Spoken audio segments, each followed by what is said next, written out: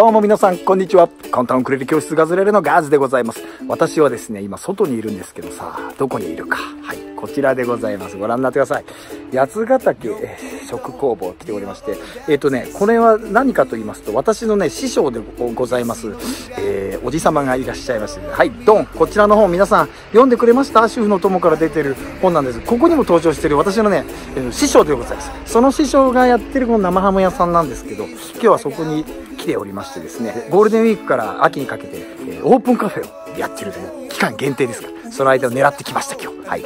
で、今日ここでその師匠といろいろお話をしながらもですね、えー、ガズレレのですね、6月の最新情報を公開しようと思いまして、皆さんにシェアしたいと思います。6月はですね、何があるかと言いますと、ガズレレイベントですよ。日本中を駆け巡っておりますけれども、えー、6月16日、那覇、沖縄の那覇です。はい、こちら、はい、エピックという会場でやります。これ久しぶり盛り上がりましょう。で、その前日面白いんですけれども、6月15日、純駆動那覇店さんで、なんと、ガズの、あの、この本、え100曲入りのガズのね、えっ、ー、と、楽譜が出たじゃないですか。それのですね、出版記念トークショーサイン会が行われます。はい。これは入場無料で、参加費も無料ですんで、ぜひ皆さん、あの、怖いもの見たさに集まってください。怖くないけどね、全然。はい。で、まあ、そういう、そのイベントで15日、もし面白かったら16日のね、那覇のイベント、ぜひいらしてきたみんなでね、一曲を弾くって、これ楽しいですよ。で、ガズさんのイベントね、ほんと勉強になりますから、いいことばっかり言うんですよ、本当に。ガズさんの話を聞いて音楽に取り組むと、めちゃ伸びますから、お楽しみに。はい。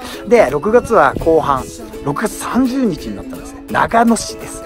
長野市。私ね、長野県出身なんですけど、飯田市っていうところで、長野市とはもうすごい遠いんですけどね。えー、そういうわけでね、なんだかんだ気づいてみたら長野市ガゼルで初開催でした。はい、北進の方、あの、新州人じゃなくても来てもらいたいんですけど、そこではですね、考えてることがあるんですよ。信濃の国という歌をみんなで歌うのはいいんじゃないかと思って、6月になったら信濃の国アップロードしますんで、信濃の国知らない方はね、まあまあ聞いてくださいよ。長野県人だったら100%歌えるっていう歌があるんですよ。県、県歌なのかな。とにかくそれで盛り上がろうということで、6月30日、はい、待って、アークスセンターで待ってます。はい。えー、ですね、えー、6月前半、これがね、皆さん、ちょっとうまく、申し訳ないっていうかですね、このガズのわがままウクレレのクラウドファンディング、ちょっとまだね、スタートできてないんですけど、この間ベトナムに行って、いろいろ現物を見ながら、いろいろこと考えていたらですね、なんとやっぱりね、これ、いろんなやりたいことが増えちゃって、えー、クラウドファンディングがちょっとね、伸び伸びになってます。ごめんなさい。で、ちょっと時期遅れちゃってるんですけど、その分内容もりもりなんで、これはね、めちゃくちゃいいですよ、このウクレレは。本当に期待してもらいたいです。えー、もうちょっとここでまでご案内しますけど、クラウドファンディングはもうちょっとお待ちください。でも、中身バッチリ。超いいですよ。お楽しみに。で、6月なんですけどね、6月の次当たり前ですけど、7月が来ます。7月は何があるかって言ったら7月6日、これ、千人ガズレでやります。千人ガズレって一体何かと言いますとですね、えー、代々木公園で行われているアースガーデンというイベントがありましてですね、そのアースガーデン、ちょっと今階段を登ろう。アースガーデンという、えー、代々木公園のイベントにガズレレの時間を設けていただいているんですよ、いつも。で、そこでガズレレ見てる人たち、バンバン集まって。で、ステージに登っちゃおうよ。あの野外ステージですから超巨大な。はい。で、写真、去年の写真もちょっと載っけときますけど、ここにまた混ざりません？皆さん。一緒にやらない？これ。はい。そういうわけで、その当日やる曲5曲をもうね、公開してますから。事前に練習しといてください。ここにリンク貼っておきます。はい。曲覚えといて。あの、カンペを作るのもいいですよ。とにかくね、もう1000人とかでね、やると思うし、まあ、1000人って勝手に言ってるだけです集まってね、無料ですから、私に会いに来るのは。たまにはいいじゃないですか。お願いします。はい。で、5曲覚えてください。え覚えなくてもカンペを見るでもいいですけど、とにかく、で、これもね、申し訳ないことで時間がまだ決まってないんですよ。で、大体大まかには昼前11時半とか11時に集合して事前練習して、そのまま本番に突入。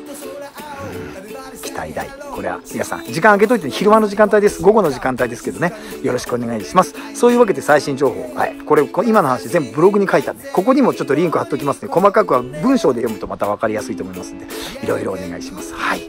あー、そして今はね、まったりと、八ヶ岳の森の中で私はくつろいでいるわけですけれども、はい。えー、ね、いいですね。はい、あ、ガズレレホームページご覧になってください。リンクもここに貼っておきます。楽しく音楽しよう。ガズレレで楽しく音楽ライフ。ありがとうございます。さよならバイバイ。またね。